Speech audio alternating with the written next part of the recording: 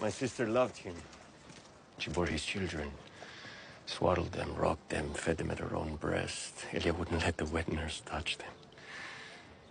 And beautiful, noble Rhaegar Targaryen left her for another woman.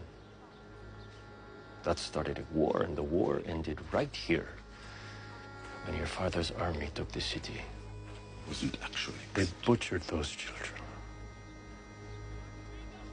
My nephew and niece carved them up and wrapped them in Lannister cloaks. And my sister, you know what they did to her? I'm asking you a question. I've heard rumors. Hmm. So have I. The one I keep hearing is that Gregor Clegane the Mountain raped Elia and split her in half with his great sword.